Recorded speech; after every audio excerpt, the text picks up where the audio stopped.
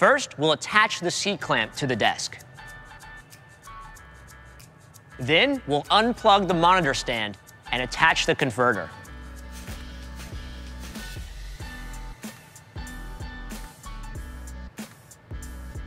Finally, we'll attach the monitor to the kit like this.